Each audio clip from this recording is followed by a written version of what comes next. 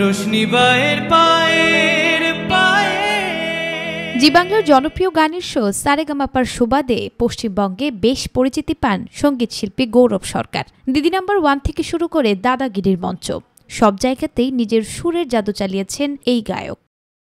তবে সম্প্রতি এই গায়কের বিরুদ্ধেই বিস্ফোরক কিছু অভিযোগ এনেছেন শ্রেয়সী চট্টোপাধ্যায় নামের উঠতি এক গায়িকা, যার দাবি, বিয়ের প্রলোভনে দিনের পর দিন একসঙ্গে থেকেও এখন বিয়ে করতে চাইছেন না গৌরব। সামাজিক যোগাযোগ মাধ্যমে ঘটনা তুলে ধরে শ্রেয়সী জানান, গত কয়েক মাস ধরে গৌরবের সঙ্গে সম্পর্কে ছিলেন তিনি। এমনকি দুজনের বিয়ের কথাও চূড়ান্ত ছিল। সম্প্রতি একসঙ্গে দার্জিলিংয়েও ঘুরতে গিয়েছিলেন এই জুটি। দুই হাজার পঁচিশ সালের চব্বিশে জানুয়ারি তাদের বিয়ে হওয়ার কথা ছিল। সবকিছুই ঠিকঠাক ছিল, কিন্তু হঠাৎ করেই ভোল পাল্টেছেন গৌরব, এমনটাই তা বিশ্রেয়সের তিনি লেখেন, দার্জিলিং ট্রিপই আমার জীবনের কাল হয়ে দাঁড়াবে, আমি তা কখনোই বুঝতে পারিনি। ট্রিপ থেকে ফিরে গৌরবের মনে হয়, আমি তার জন্য পারফেক্ট নই। আমরা ভবিষ্যতে একসঙ্গে ভালো থাকতে পারব না।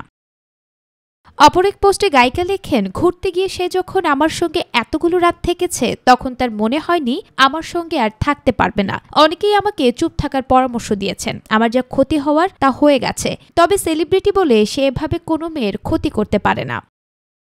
এদিকে শ্রেয়সীর এই অভিযোগ নিয়ে হিন্দুস্তান টাইমসের কাছে মুখ খুলেছেন গৌরব। তিনি বলেন, আমার কাছে এটা আলোচনা করার মতো কোনো বিষয় নয়। কারণ আমার কাছের লোকেরা আমাকে চেনেন। কারও কাছে আমার চরিত্রের সার্টিফিকেট নেওয়ার দরকার নেই। শ্রেয়সীর সঙ্গে আমার পরিচয় ছিল, কিন্তু সে যা লিখেছে তার অধিকাংশই মিথ্যা। শ্রেয়সীর সঙ্গে বিয়ের কথা হয়েছিল কিনা জানতে চাইলে গৌরব জানান, না না, আমার পরিবারের কেউ তাকে দেখেইনি। বর্তমানে তার সঙ্গে আমার কোনো রকম সম্পর্ক নেই। Nusrat Sharmin, my TV, Dhaka.